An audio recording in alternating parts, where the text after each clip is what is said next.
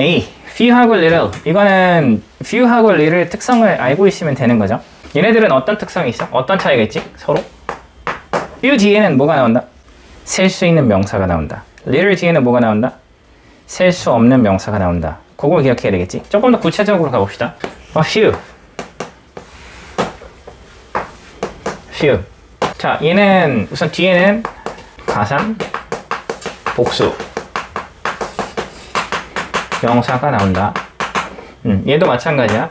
똑같이 요게 나온다 라고 볼 수 있어. 가산 복수 명사가 뒤에 나온다. 자 그러면 a few하고 few의 차이는 뭐지? 음? 그 맞아. 긍정, 부정. 어떤 게 긍정이지? 어가 들어있는 게 긍정, 요게 긍정, 요게 부정. 정확하게 의미는 a few는 무슨 의미? 그렇지. 조금 있는. few는 거의 그치 거의 없는 이렇게 볼수 있고. 자 그러면은 a little이 있고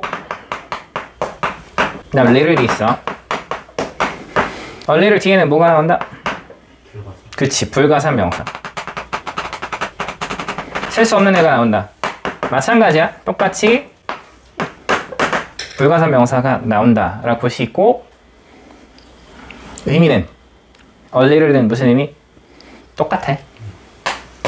긍정의 느낌으로 쓰인다 조금 있는 자 그리고 little은 부정의 느낌이고 거의 없는 이런 의미로 쓰인다는 거지 그러니까 이 특성을 전체적으로 잘 알고 있어야 돼.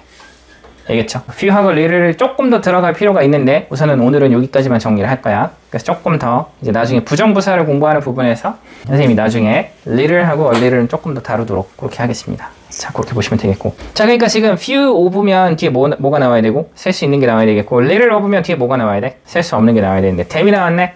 댐은 어때? 셀 수 있는 거지 그것들 그러니까 이제 셀 수 있는 거니까 정답은 few가 된다 무슨 말인지 알겠죠? 정확하게 이게 뭔지, 댐이 정확히 뭔지를 한 번 더 보면 Some people think that 몇몇 사람들 생각한다 Oh, wild animals are dangerous 그래서 분석하면 사람들 몇몇은 생각해 접속사 대시지 대절에 대해서 생각한다 목적어고 대절이니까 또 문장 나와서 얘가 동사 그러니까 여기는 Oh, wild animal이 주어 그다음 dangerous 여기 이제 보어가 되는 거죠 아, 요건 해석, 요건 분석할 필요는 없었네. 자, actually 사실 very few little of them. 동물 한 마리, 두 마리, 세 마리 셀 수 있는 거잖아. 동물이고, 그러니까 당연히 복수다. 그러니까 당연히 정답은 few가 된다. little은 불가산 명- 명사. 그러니까 뭐 air, water, milk 이런 애들이 나와야 되겠지?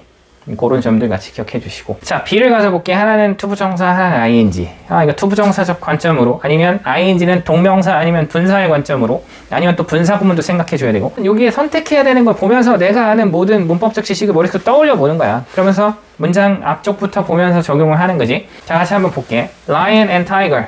사자 호랑이가 죽이고 먹습니다. 사람을.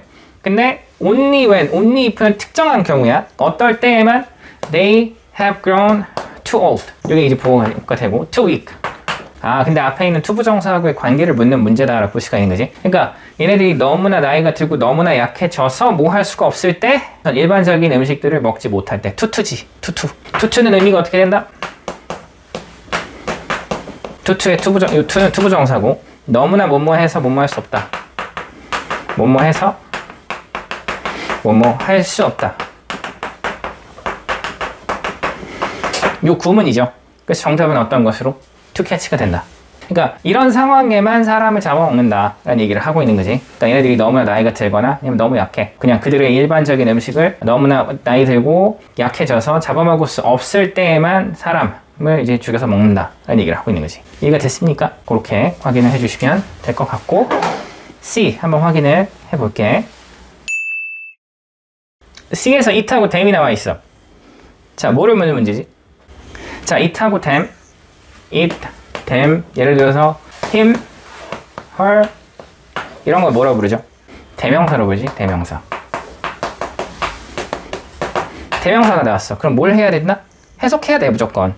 해석해서 지금 이 대명사가 단순지 복순지 아니면 이게 성별을 맞춰줘야 되는지 그런 부분들을 보란 얘기야. 자, 근데 물론 it이 나왔을 땐 조심해야지. 왜? it은 여러 가지로 좀 더 이렇게 많이 쓰일 수 있으니까 진주어 가주의도 있고 이때 강조도 있고 진목 과목도 있고 비인칭입도 있고 이런 것들이 있으니까 그런 것들도 고려하면서 잘 봐야 되겠지. 그렇지만 대명사니까 해석해서 어떤 하나의 명사를 받는 그것 이런 느낌으로 해석될 수도 있으니까 해석이 필요하다고 볼 수 있는 거야. 여기서 보면 wild animal only attack hunter. 그래서 야생 동물은 공격합니다. 또 이제 only when이지? 이럴 때에만. 어떤 거? Hunter mean. 사냥꾼이 mean은 mean 뭐뭐 하려고 하다 라는 의미로 볼 수 있겠지. 사냥꾼이 뭐 하려고 할 때? 그들의 새끼 one. 그들의 새끼를 해치려고 할 때? 여기 목적으로 볼 수 있겠지. or 또는 when hunter make 네 사냥꾼들이 뭐 할 때? 그들을 화나게 할 때. 근데 여기 뭐가 있었지? animals.